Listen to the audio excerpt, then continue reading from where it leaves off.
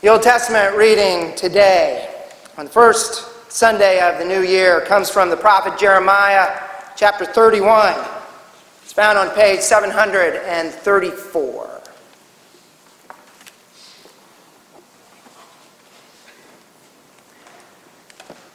Let us listen for God's word.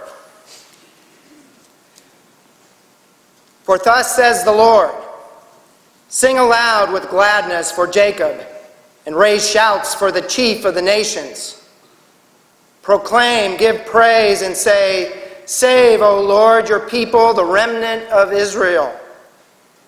See, I am going to bring them from the land of the north and gather them from the farthest parts of the earth, among them the blind and the lame, those with child and those in labor together. A great company they shall return here. With weeping they shall come, and with consolations I will lead them back. I will let them walk by brooks of water in a straight path in which they shall not stumble. For I have become a father to Israel, and Ephraim is my firstborn. Hear the word of the Lord, O nations, and declare it in the coastlands far away. Say, He who scattered Israel will gather him and will keep him as a shepherd of flock. For the Lord has ransomed Jacob and has redeemed him from the hands too strong for him. They shall come and sing aloud on the height of Zion, and they shall be radiant over the goodness of the Lord, over the grain, the wine, and the oil, and over the young of the flock and the herd. Their life shall become like a watered garden, and they shall never languish again.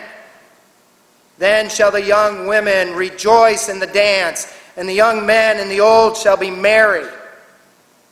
I will turn their mourning into joy. I will comfort them and give them gladness for sorrow. I will give their priests their fill of fatness, and my people shall be satisfied with my bounty, says the Lord.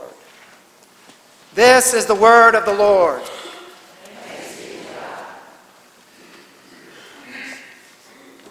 Please pray with me.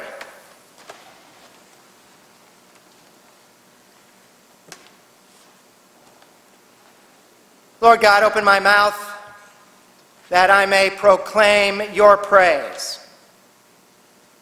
Silence in us any voice but your voice, so that in hearing we may be obedient to your will. We pray in the name of Christ. Amen.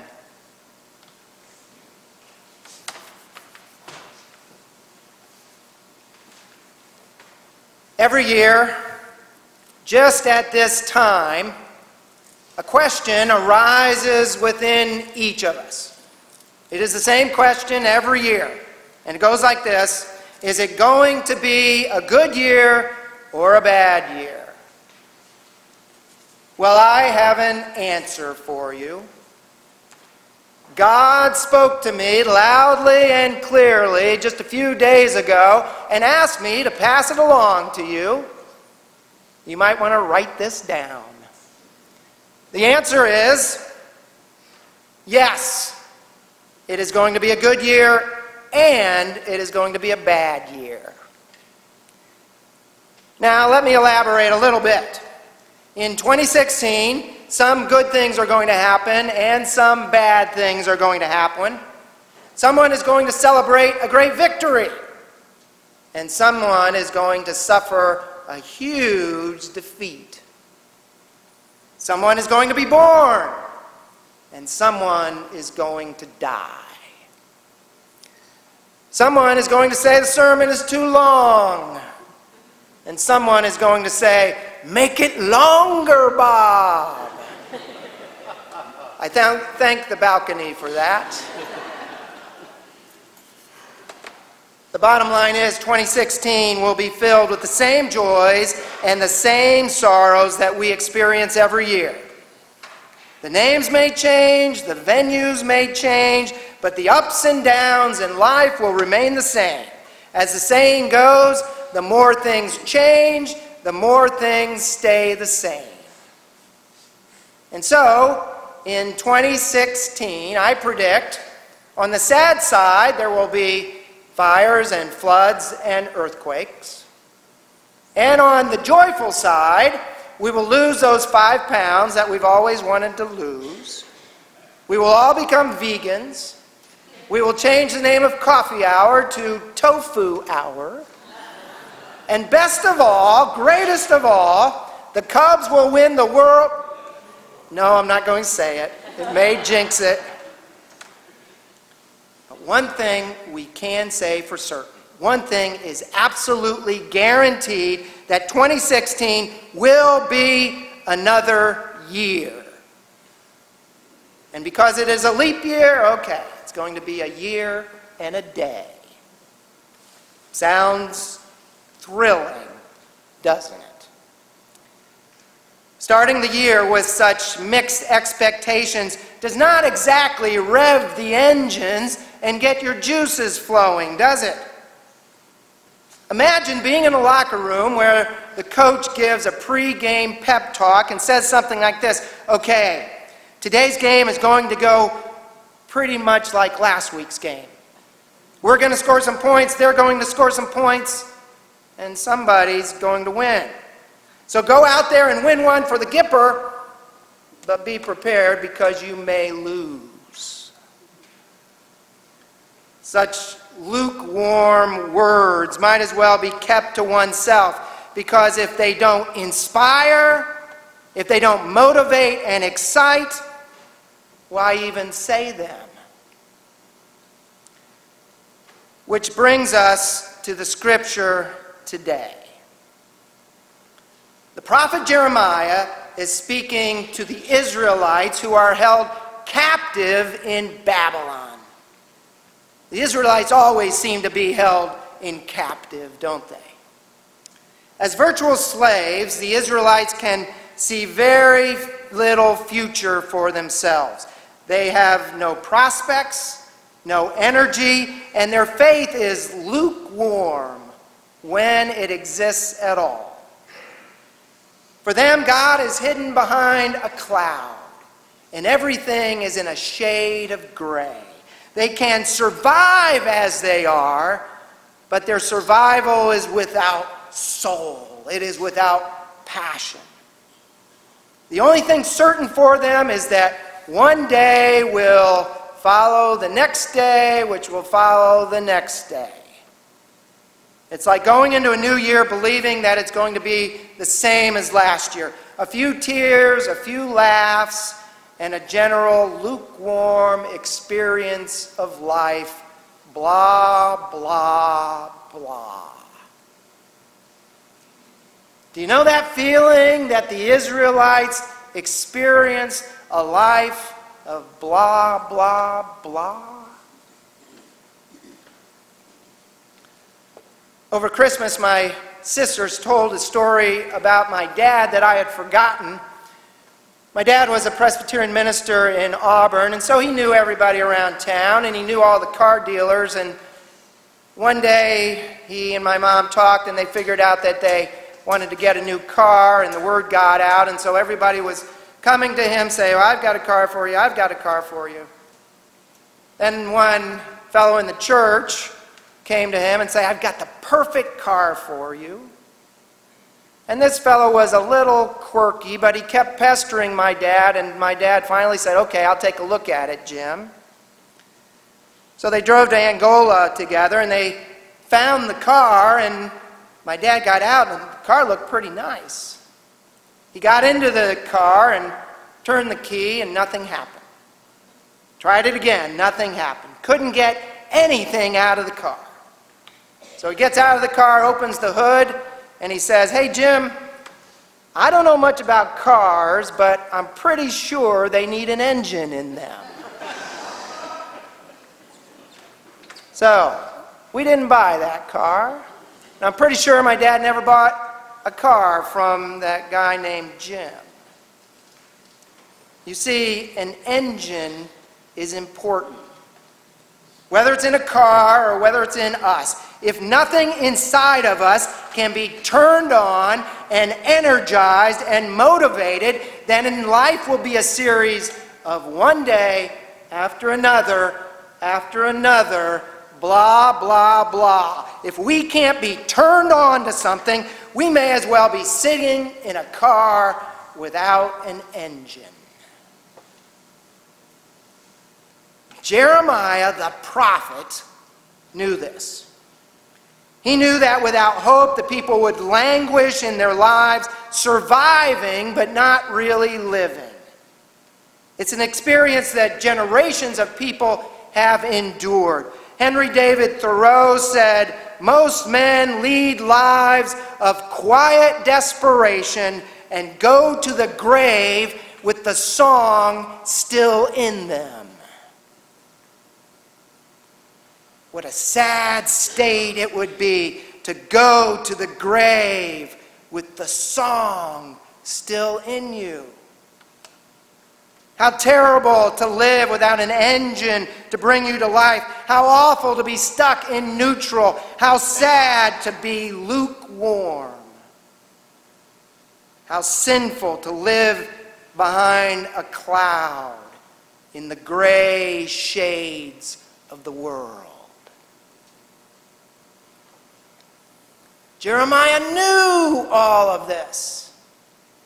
And so he prayed to God for something to rev the engines of the Israelites. And it didn't need to be a miracle burning bush. And it didn't need even to be a star in the sky. All it needed to be was something tangible that the people could experience, something they, that they could look at and say, wow, that's pretty good.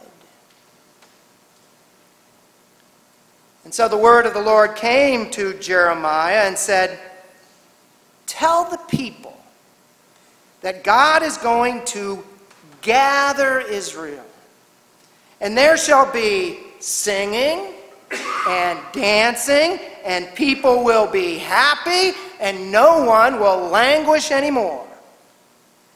I will turn their mourning into joy I will comfort them and give them gladness for sorrow.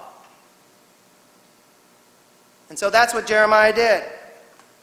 He went to the people and said to them pretty much something like, Stop crying, hang in there, rev your engines. You will have gladness for your sorrow. You see, people languish.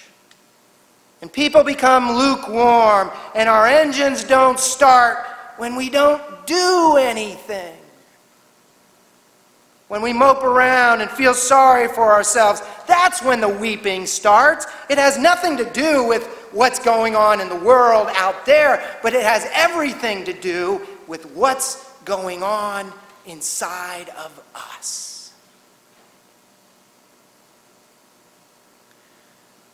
Few years ago, when Abby and Lawson were in college, I was as close to languishing as I have ever been.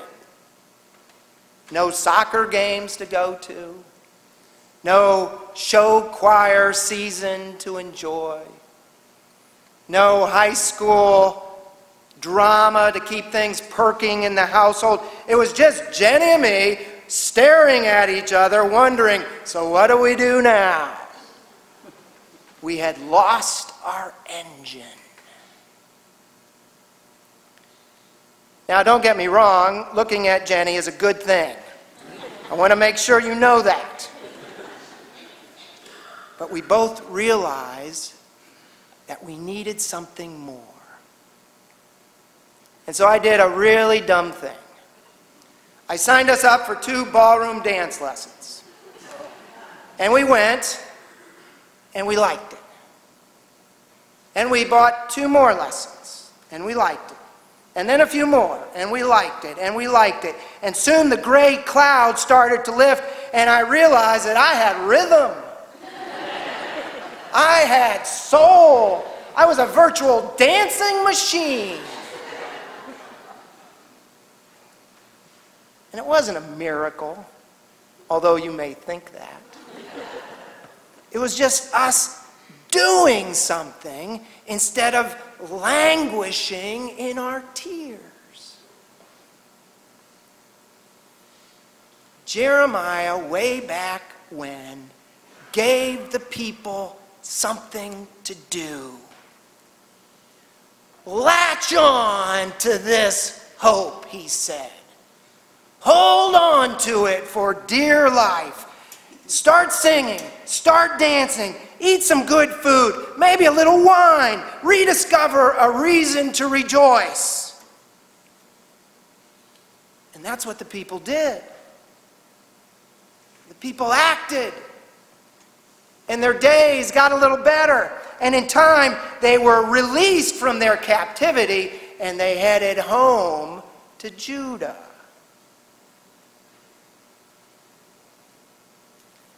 So the new year is before us.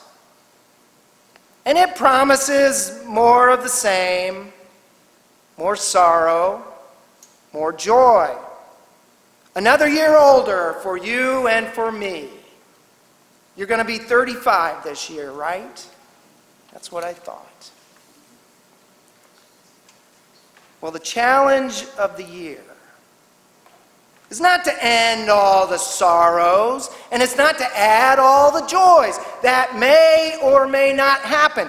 No, the challenge is how we react to all of that, how we react to the world. If we react by retreating into our shell and languishing about with lukewarm emotions, then we are not listening to the voice of God in our midst. For God does not call us to a life of weeping and moping and quiet desperation. God calls us to sing and dance and make merry with the people we love. God calls us to rev our engines in the stillness of life. God calls us to do something. It is this call of hope that God consistently brings to us through the prophets, through Jesus Christ, through the Holy Spirit. It is the promise that God will turn our mourning into joy and give us gladness for sorrow. Now, should that happen, and when that happens, I think it'll be a pretty good year. And so, gentle people, start your engines. In the name of the Father, and the Son, and the Holy Spirit, one God. Amen.